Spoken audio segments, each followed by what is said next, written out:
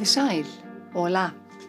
Ég heiti Erla og ég er einn af kennurum í spænsku við Háskóla Íslands.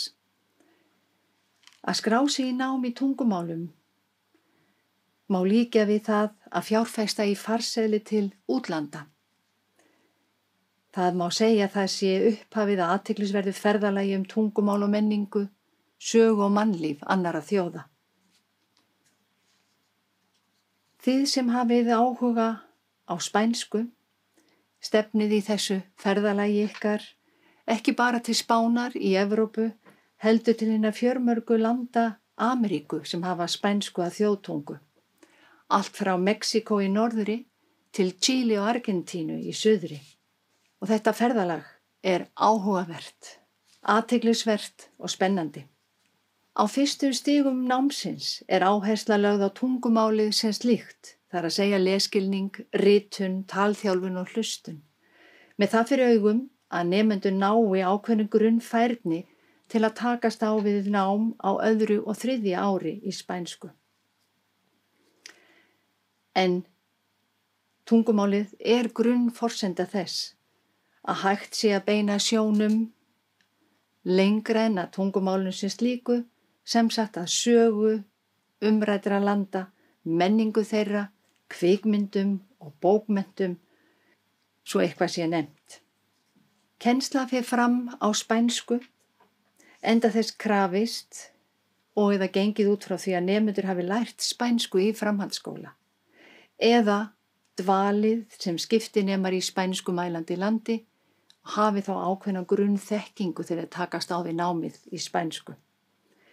Námið er fjölbreytt og lífandi og byggir á virkri þáttöku nefnenda.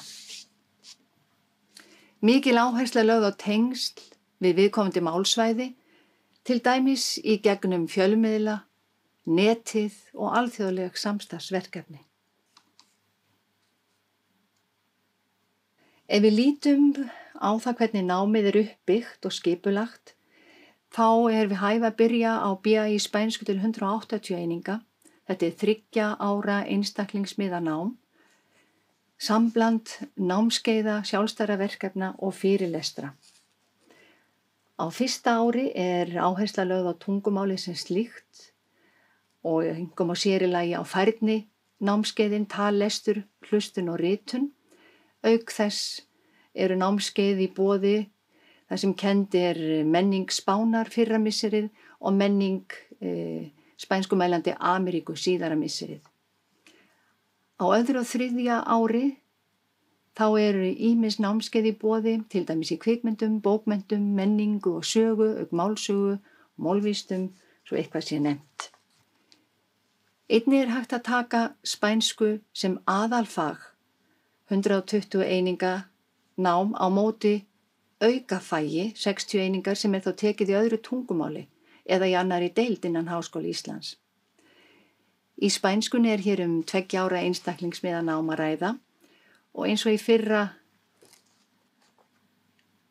námi þá er sambland ímissa námskeiða hér í bóði sjálfstæra verkefna og fyrirlestra. Einni er hægt að taka spænsku sem aukagrein til 60 eininga Þetta er eins árs eða tveggja annað einstaklingsmiða nám. Sama er hér upp á teiningnum, Ímis námskeið eru í bóði, engum námskeið sem eru í bóði á fyrsta ári í spænskunni.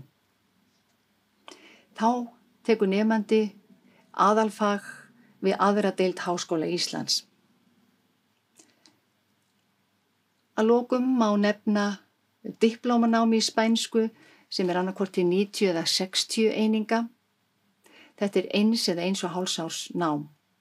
Þetta er hagnýtt námsleið þar sem áhersla lögða hagnýta þjálfun, sem að talafingar, hlustun, lestur og ritun og notkun tungumálsins í daglegu lífi.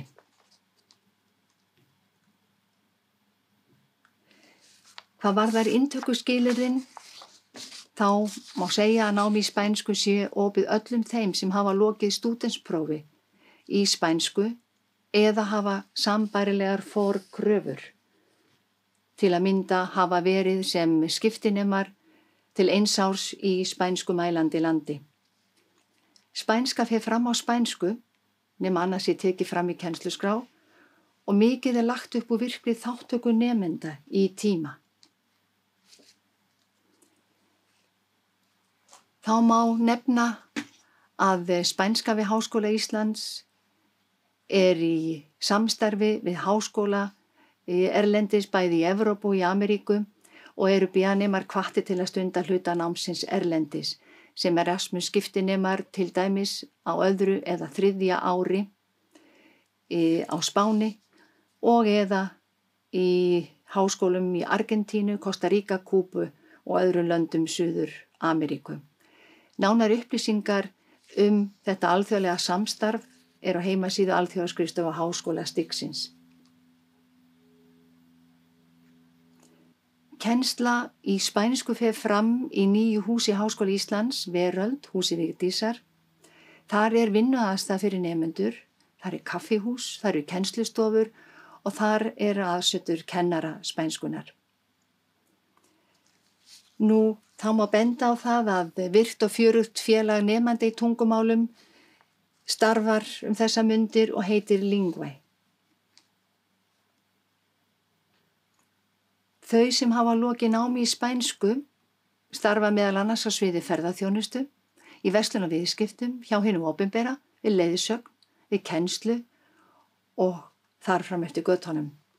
Fólk með bjagráðu öðlast rétt til áframhaldandi náms fjölmörgum á fjölmörgu sviðum og í mörgum ólíkum greinum, hér á landi og eða erlendis.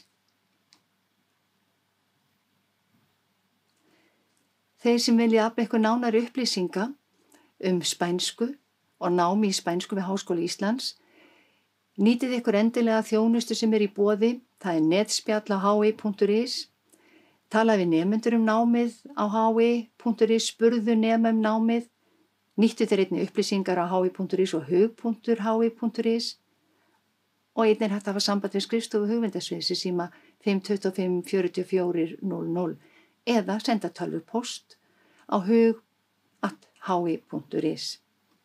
Þakk ykkur fyrir, adjós.